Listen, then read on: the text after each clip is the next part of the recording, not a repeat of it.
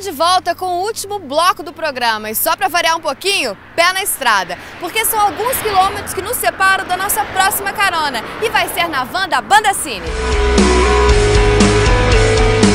Agora sim, eu tô de carona na van com a Banda Cine, a banda Revelação de 2009, que ficou super estourada nesses anos de 2010, né? Vocês não têm tanto tempo de carreira assim, mas já conquistaram bastante coisa. Olha, de carreira, acho que não, né? Mas a gente toca faz tempo. De brincadeira. Mas a banda é de 2007. Isso, de 2007. Mas a gente toca junto já há uns oito anos, assim. A gente toca Vocês tempo. tocam desde o jardim de infância. Ah, a gente tem, a gente, a gente Nem é velho, tanto, tem, né? Tem A gente é 26 tudo anos. Mas o ano de 2009 foi muito especial na carreira de vocês, né? Bastante. Dave até, ta- até tatuou o 2009 na perna É mesmo? Em cima do raio. Gente, olha o tamanho de 2009 dele. Todo mundo tem o logo da banda e tal, com esse raio. E todo mundo também tem um cabelo voando aqui por causa do vento, mas tudo bem. Mas porque o Danilo, a Branca de Neve ali, ó, tá, tá dodói, então. Pois é, você tá com febre, né? Isso é a rotina, isso é a estrada que tá deixando você assim? Não sei, talvez É a balada. o- É a balada? Na verdade é a balada. Mas vocês estão numa loucura, né? Fazendo show direto. Vocês estão na estrada com van, com avião, com ônibus, com tudo o tempo inteiro. Como é que cuida da saúde, assim? Dando carona pra galera aí. É, dando calor pra gente, por vai- favor, né? vai- Funciona mais ou menos Vai na assim. Sorte. Ele fica doente, aí a gente desliga o ar-condicionado da van pra Fica todo mundo ficar vento. doente junto com ele. Não, vocês rodam muito o Brasil, agora eu vou dizer uma coisa. As fãs mineiras ficam um pouco com ciúme, porque tá todo mundo pedindo pra vocês tocarem ali na nossa região. Inclusive, eu recebi pergunta de uma super fã da banda, que é lá de Formiga.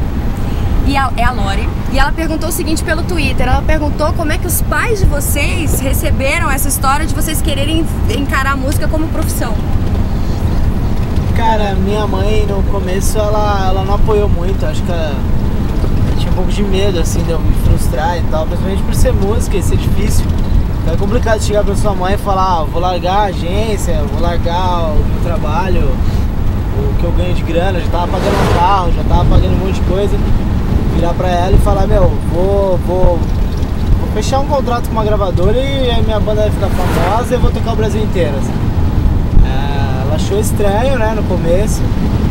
De início ela não apoiou justamente por isso, por, ter, pelo, por medo de, de eu me frustrar assim. Mas graças a Deus deu, começou a dar tudo certo e ela começou a ver que não era brincadeira e tal, e que a parada tinha ficado séria mesmo. Agora ela é que mais apoia, assim. acho. Vai no show, Vai no show, responde fã no Twitter, tem fã clube dela até. fã clube da Também- sua mãe. É, do, do Pedro também, a mãe do Pedro, todo É, mundo nossas mães a- até show elas estão fechando hoje em dia. É mesmo. Ela só me diz não, pra mim já Em tornou 2010 vocês gravaram o primeiro DVD da carreira.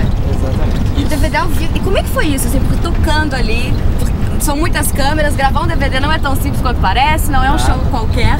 Mas Não é. deve ter uma emoção de registrar tudo aquilo também, né? Foi um show de 3 horas de duração.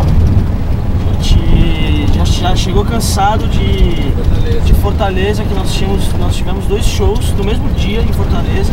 Saímos de Fortaleza tipo, praticamente direto pro, pro, pra, pra, pra gravação do, do DVD. Mas uma experiência que marcou muito pra gente, sabe? Foi a primeira experiência com uma gravação ao vivo com uma galera na nossa frente, sabe? Ficava aquela insegurança de a gente tinha que fazer tudo, tudo muito certo, além do que a gente costuma fazer no show, sabe? O DVD ele foi gravado e lançado, na verdade, né? Lançado há dois meses e, pô, já tá disco de ouro aí, já tá caminhando Os caras tão bem. Tá Os vendo? caras tão bem. Então, disco de ouro hoje em dia no Brasil, os caras tão bem, queria dizer. Nada. Ah, essa... Saúde.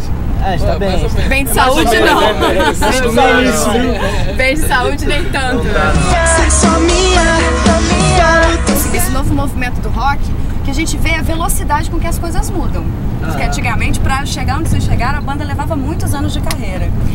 Como é que vocês trabalham isso agora pro futuro da banda? Porque hoje em dia as pessoas têm que lançar música muito mais rápido, tem que interagir muito. Como é que vocês fazem? É, a gente já sacou isso muito, muito bem, assim, desde, o- desde o início, assim. A gente vem atualizando mais space, colocando música nova, colocando conteúdo novo pra galera. Agora a gente vai gravar um disco e gravar um seriado ao mesmo tempo. Olha só. A gente gravando esse disco novo.